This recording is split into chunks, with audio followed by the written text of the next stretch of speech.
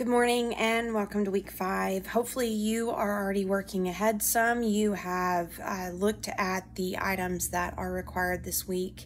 Uh, it's still a decent amount of work. You kind of had a light week last week, and then you'll have a light week next week, the last week of the class.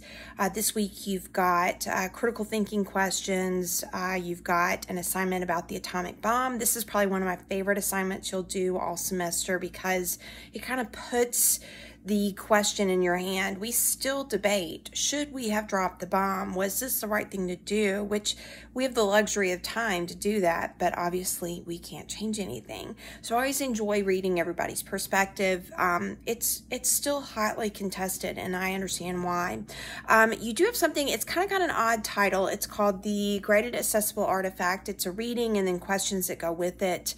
Um, it's a it's a well point assignment. How do I say that? It's a decent amount of points that go with it. So you absolutely should not skip this. You only have one discussion, but again, I love the civil rights movement. I am originally from Alabama, and so I have a lot of passion for all of that subject. So I'm real excited to read your uh, perspective on uh, the civil rights movement and modern technology.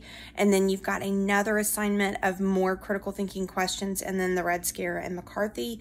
Uh, anything to do with communism, you know, I, I tell my students from time to time that at this era of time where we've got the Red Scare and then obviously McCarthy being such a big part of that, you could have uh, put somebody calling you a communist in the same vein as someone calling you uh, a curse word. It really was such a, a dreaded title, a dreaded comment that we just were worked up into a fury. If you think about how much changes in this era of time, we go through the Second World War, we are going to deal with the ramifications post war. We're setting ourselves up to be truly this world power with some pretty dangerous weaponry to back that up. You can see why some of this is uh, really a tumultuous time. My mom grew up in the era of the atomic bomb bomb in terms of uh, my grandfather was an, uh, in the Air Force, and so she grew up on Air Force bases and going to Air Force base schools. And she talks about doing air raid uh, basically protocol if if they would do almost like i grew up doing tornado warnings and, and having to get under the desk or things like that. She grew up doing that but with the fear of an atomic bomb being dropped. And it's really kind of incredible that that era of of time we came out emotionally as healthy as we are if if I can make that reach. Uh, my mom uh, still talks about those noises and hearing that fearful tone of okay, everybody get under their desk and cover their head uh, for fear, like they're practicing the what if. So this era is so intriguing to me. I'm currently reading a book called The Pope and the War, and it is it's literally talking about from the perspective of the Catholic Church what's happening in regards to the Second World War, and it is truly fascinating because it's not just looking at Pope Pius XII, but it's also looking at his relationship with Mussolini, um, how he is trying to somehow salvage the idea of, of uh, diplomacy with these other really, really upsetting people.